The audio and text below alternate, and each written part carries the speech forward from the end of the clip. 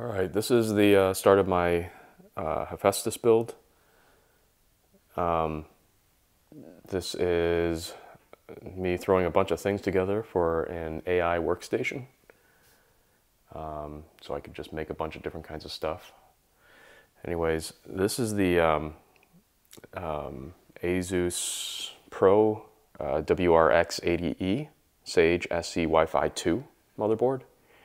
Um, uh, it has support for an AMD Threadripper Pro. That's right there.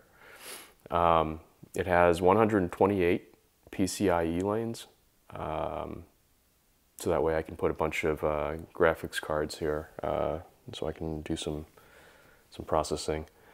Um, and this is uh, PCIe 4 lanes, uh, 2 terabytes of memory support. So there's 8 channels there. So I can put all of these in there. Um, there is, let's see here, so there's the seven slots and um, they're all X16 slots. So that's kind of the, the, the advantage of having a Threadripper Pro. Um, let me see, uh, 16 power stages. So this is going to be uh, they're kind of all underneath there. Yeah, under the heat sinks. and then um, two U.2 connections, they're probably right there. Um, dual 10G uh, Ethernet. So let me see if I can get you a shot there. Kind of the I.O. right there. Um, two USB 3.2 Type C uh, the support for 20 giga, gigabits per second transfer. Um, the other thing is that this supports the uh, out of band support. So it has kind of the support to be able to uh, control this motherboard um, through kind of its own dedicated network uh, off of the main network that, that usually a motherboard will run off of. Um, so it's running on here so you can control all the things related to the motherboard and you know, turn things on and off and uh, control fans, things like that. And then, um, let's see, it does come in the box. Um, it comes with this Hyper M2 X16 Gen 4 card. Um, so you, so you can kind of put four NVMe SSDs in it. Um, yeah, so that's the motherboard. Okay, so this is the uh, Threadripper Pro that I ended up getting. This is the uh, 5975WX. What's nice is that uh, the newer chips have come out, so these have kind of ended up reducing in price. So I ended up picking one of these instead. So this actually has a, uh, let's see here, 32 uh, cores, 64 threads, um, unlocked for overclocking, um, see what else. It's got the coolest name ever. I mean, a thread ripper, right? So that's kind of the, the name of the processor. It's a 7 nanometer Zen 3 architecture, uh, SWRX8. Um, so it'll fit in that socket right there. Um, base clock is uh, 3.6 gigahertz, boosts up to 4.5 gigahertz. Um, L1 cache 2 megabytes, L2 cache 16 megabytes, L3 cache 128 megabytes, um, 280 watt TDP, so pretty hot, uh, and it has a max temperature of 95 uh, degrees Celsius. Um, the big uh, benefit of this chip is that it's a PCIe 4 um, uh, processor, so uh, the GPUs that I'm going to be running will be using PCIe 4 uh, X16 and I want to be able to take advantage of the speed. Uh, let's see here. And then it has um, eight channels. Uh, obviously that can support the eight channels of the uh, DDR4 3200 meg memory RAM. And then these, I have, let's see here, eight of these. And this is uh, Micron uh, I, I have 64 gigs. Each one of these are 64 gig sticks, and I have eight of these. So it's uh, 512 gigs of uh, um, DDR4 3200 RDIMM to RX4 memory. So yeah, this this should be uh, pretty speedy, and um, it's not like the uh, high density kind of things where I have to worry about the uh, power usage and things like that. So, uh, but this will definitely take a lot of power. So we'll have to see how that all works out. Anyways, that's that's kind of where I'm at, and uh, I'm gonna start to piece this thing together and throw it into my, I guess my new nifty case.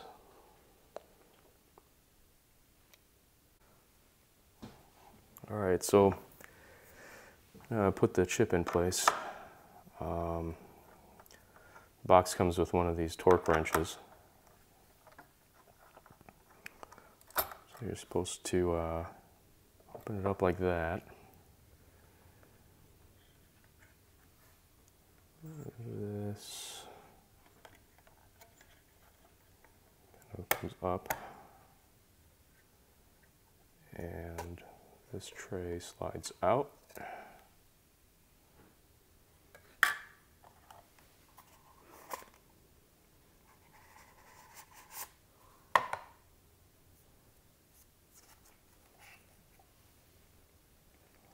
Threadripper Pro slides in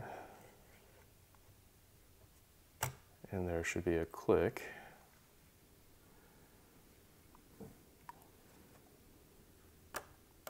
This comes off, this goes down.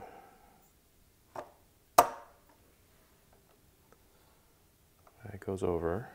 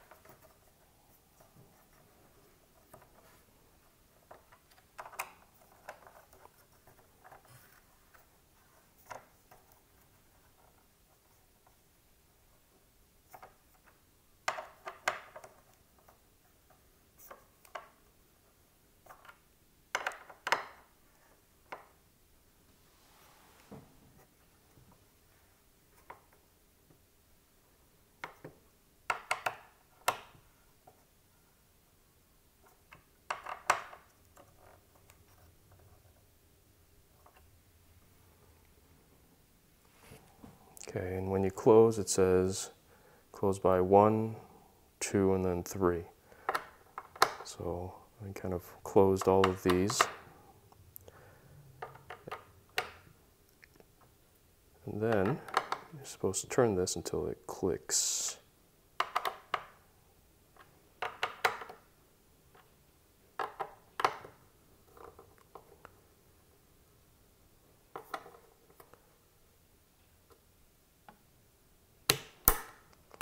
One,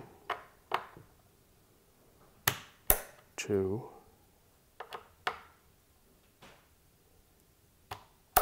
three. Just out of curiosity, I'm going to check the torque on this using my digital torque wrench.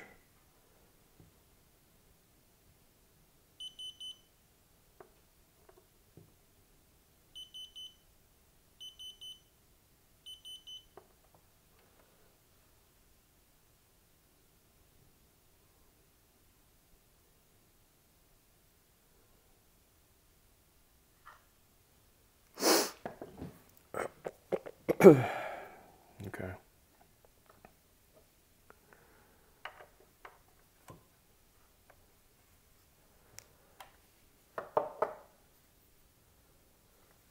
I think these should be at about 1.5 is what it says.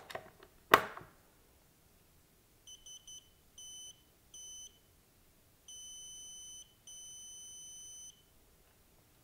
Point two five.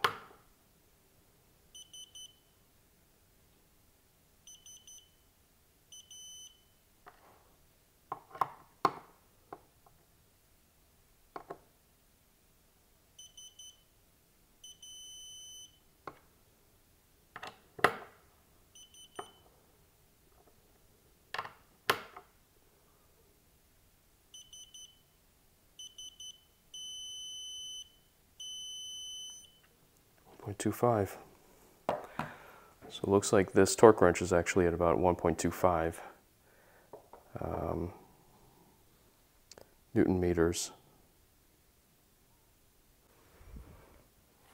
All right, and I'm uh, taking the memory and adding the memory right now.